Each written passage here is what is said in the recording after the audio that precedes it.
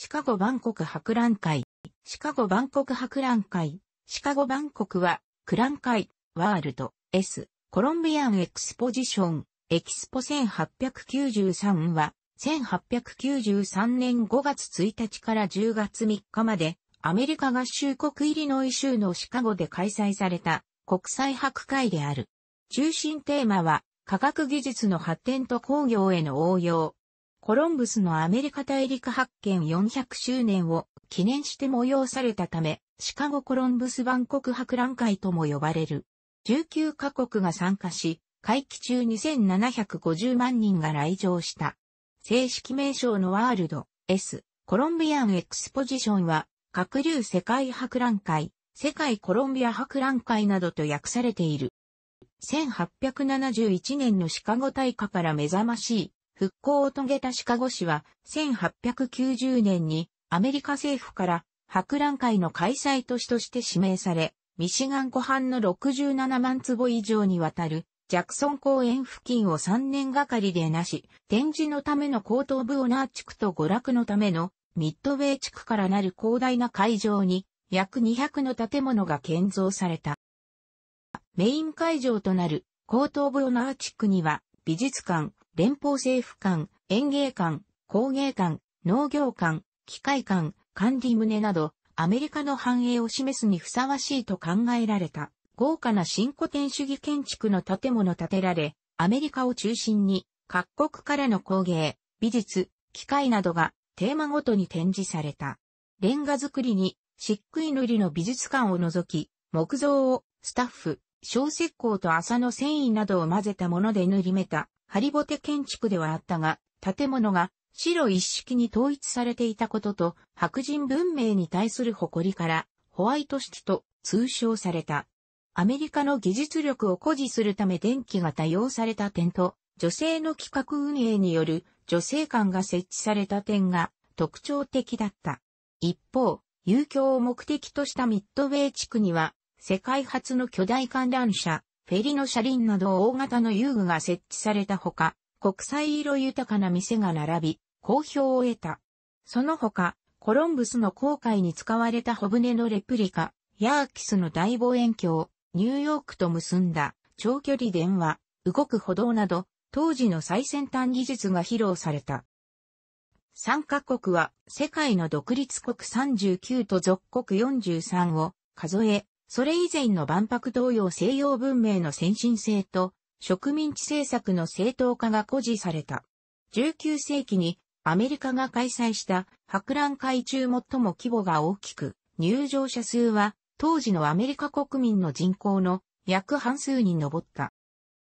会場にはアメリカ人技師のジョージ・ワシントン・ゲール・フェリス・ジュニアにより設計されたモーター駆動による機械式観覧車フェリスホイールがそびえ立っていた。パリのエッフェル塔に対抗して作られたものであり、直径75.5メートル、2160人乗りという規模で、現代から見ても巨大なものだった。観覧車が英語でフェリスホイールと呼ばれるのは、彼の名にちなむ。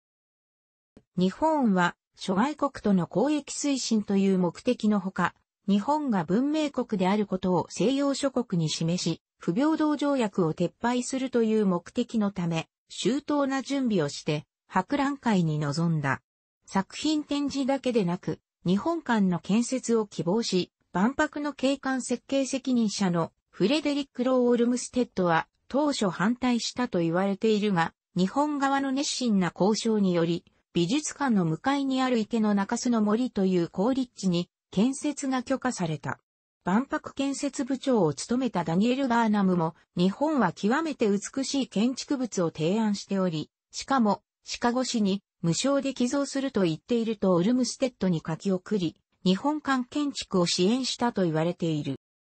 1882年の冬に資材と25名の職人が日本から送り込まれ、宇治の平等院鳳凰堂を模した日本館、鳳凰殿と日本庭園を建設。鳳凰殿は三棟からなり、長い歴史を持つ国であることを示すために、江戸時代、平安時代、室町時代の建築様式を取り入れ、それぞれの時代の特徴を示す美術、工芸品を展示した。設計はイギリス人建築家コンドルの弟子である、クル正道が担当し、75名の職人によって作られた。日本式の建築工法や職人らの機敏な作業風景は市民の注目を集め、連日見学者が絶えなかった。剣道な壁の代わりに柱を用いる日本の伝統的な建築技法は内部に柔らで開放的な空間を作り、周囲の自然環境とも流動的に交わる外観を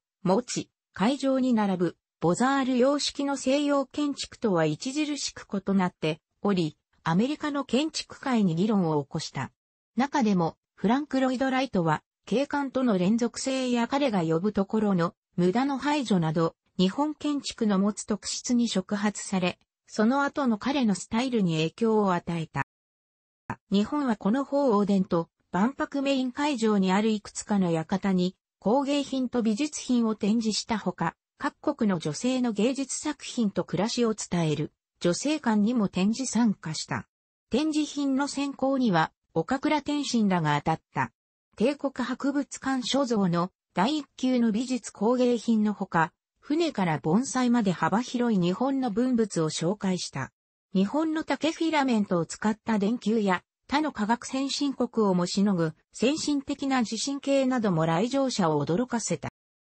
アメリカの繁栄を誇示する華やかな博覧会の陰で多くのものが排除、無視された。19世紀末のアメリカは急激な工業化により、新興な利金が台頭し、貧富の差が極端に拡大していた。万博に象徴される富裕層の並外れた豪奢さに対し、労働者、先住民、有色人種は過酷な状況に置かれていた。シカゴにはスラム街が広がり、不衛生極まりない環境に暮らす庶民たちは貧困と、つて病に苦しんでいた。そうした中、万博会場だけが美しく整備され、純粋な白人のみで構成された万博委員会は人種差別を公とした。黒人団体が抗議したが、奴隷解放宣言から30年経ってなお、政府は委員会の判断を承認した。シカゴの不動産王の妻が委員長を務める女性間への黒人の参加も無視され、黒人女性活動家らが万博に黒人のアメリカ人がいない理由、ザリーズンホワイザカラード、アメリカンイズノットインザワールド、S、コロンビアンエクスポジションという講義の小冊子を作り、会場で販売した当時カラードアメリカンはアフリカ系アメリカ人を指した。先住民の展示は野蛮なインディアンを印象づけるような感傷的なものに限っており、そのことに抗議したスタッフは解雇された。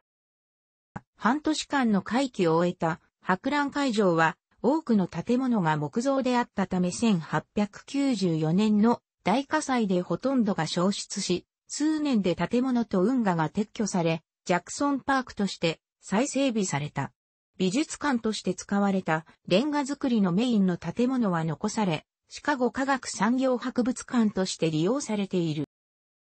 ウーデトアイランドと名付けられた中州にあった法王殿と日本庭園は博覧会終了後、天皇からの寄贈という形でシカゴ市へ寄贈され、公園の一部として残された。1934年にはニューディール政策の一環として、ジョージ系下田1866-1981の設計図をもとに、新しい回遊式庭園として整備された。法王殿と庭園の手入れは、シカゴ市公営委員会より、日系移民の庄司大里と妻のフランシス・フィッツパトリックに委任され、二人は1941年まで、これを日本左官として管理した二人の娘その大里は、後にバレエリスのバレリナとして活躍した。第二次世界大戦における日本とアメリカの開戦後に、大里が日系人の強制収容に見舞われると、敵国の施設は放置され、略奪などで荒れ放題となった。法王殿は戦後すぐの1946年に放火で消失した。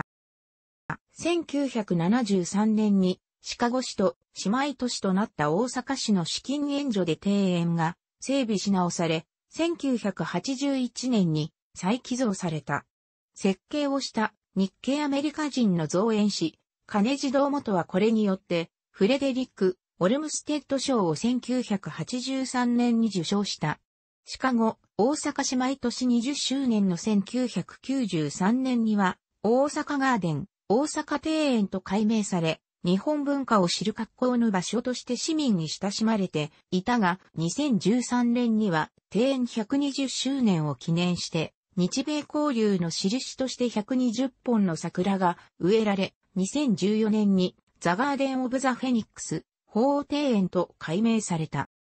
楽しくご覧になりましたら、購読と良いです。クリックしてください。